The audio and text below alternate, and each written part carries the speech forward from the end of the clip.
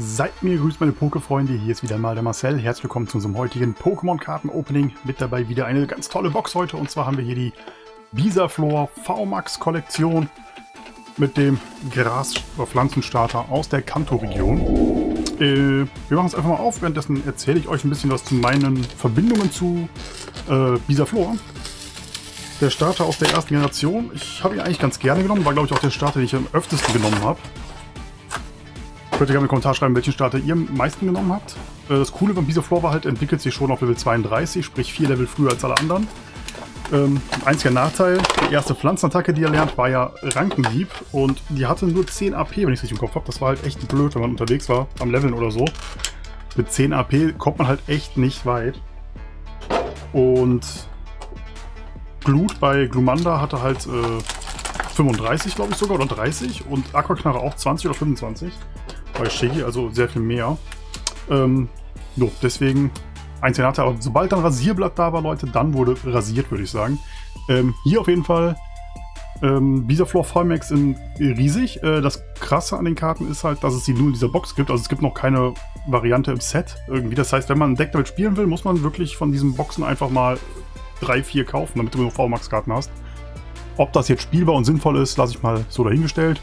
Hier haben wir Bisaflor V-Max mit Waldsturm und Gigablüte. Waldsturm hat 30 Mal Schaden. Diese Attacke fügt jeden an all deinen Pokémon angelegten Energie Pflanzenenergien 30 Schadenspunkte zu. Ziemlich nice, vor allem mit Gortum oder so gemischt vielleicht, könnte das echt eine coole Sache werden.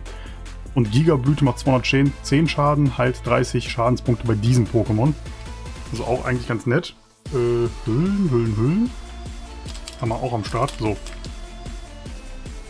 dann haben wir in diesen Boxen noch drin, äh, wir sehen nämlich die Tutok-Box davon am Freitag, also wenn ihr da auch reinschauen wollt, am Freitag gibt es die Tutok-Box, haben wir auch drin äh, Hüllen, und zwar mit dem Bisaflor in der Dynamax-Form drauf. Ich finde die Dynamax-Form jetzt tatsächlich nicht so cool, sind auch nicht so schlimm, aber generell, ich bin generell nicht so ein Freund von dem Op der Optik der Dynamax-Form, weder jetzt von Bisaflor oder was gibt's noch, Pikachu, Evoli, alle sind ein bisschen weird, finde ich ein bisschen, weiß ich nicht.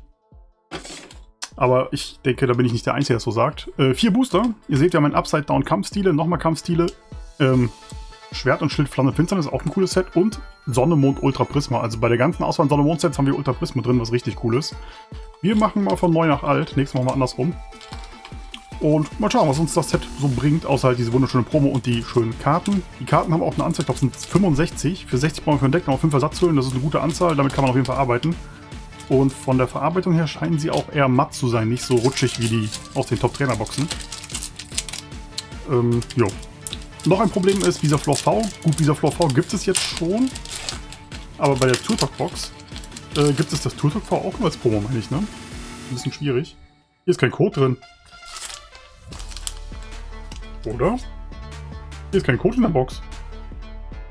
War kein Code. What the fuck? Okay, die haben mir den Code geklaut. Nice. Dann muss dieser Booster wenigstens gönnen. Mal gucken. Wir starten mit der Wasserenergie. Ein sehr wohl. Scorgro. Ich habe echt wenig flammende Finsternis geöffnet. Äh, Kampfstile. Bin echt froh, mal wieder Booster in der Hand zu haben. Voldi. Flurmel. Pantimos. Krebskorps als Reverse Holo und die Rare ist... Okay, okay. Ich äh, finde es okay, dass der nicht dabei war. Drapfel V als Full Art. Oh, sieht die cute aus. Drapfel finde ich ein richtig cooles Pokémon, auch weil es zwei Formen hat, halt mit Drapfel und Schlapfel. Diese etwas äh, aggressivere Art mit Drapfel und diese süße, äh, faule Art mit Schlapfel, richtig cool. Mit Sauerspucke und Flügelschlag. Sehr nice. Ähm, ja, finde ich nett.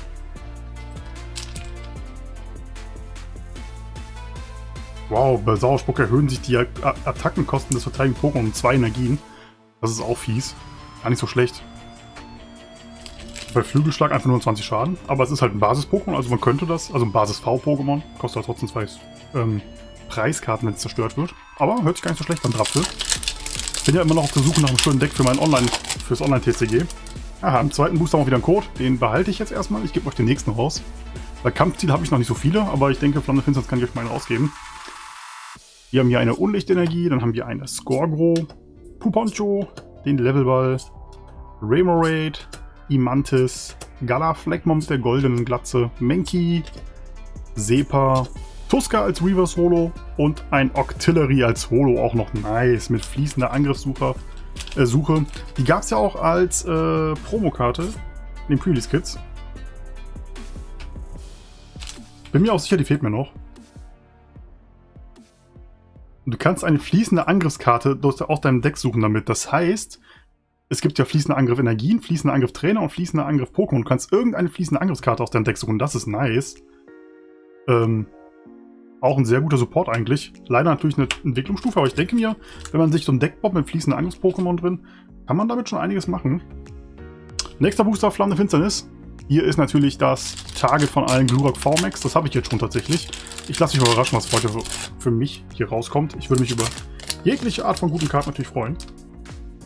Ein Code für euch. Viel Spaß damit. Einmal die Flammende Finsternis für euch. Wie immer gilt, wenn ihr es Gutes zieht, lasst es mich gerne in den Kommentaren wissen. Starten tun wir mit der Pflanzenenergie.